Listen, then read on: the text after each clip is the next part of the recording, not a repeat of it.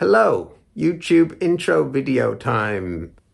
What I do is I'm a music maker. I've been making music since the mid 90s when I was a teenager. And uh, I've always been really into Aphex Twin. But my music doesn't sound much like him, luckily, because it shouldn't. It should sound like me.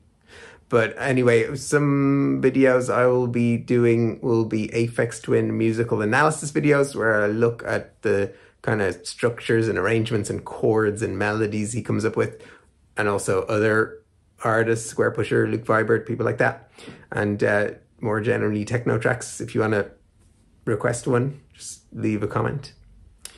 And uh, I'll be doing some videos about music theory as well, things like things that can help you to make your own music modes. I'm really into music theory. I'm a jazz musician as well. So things like that.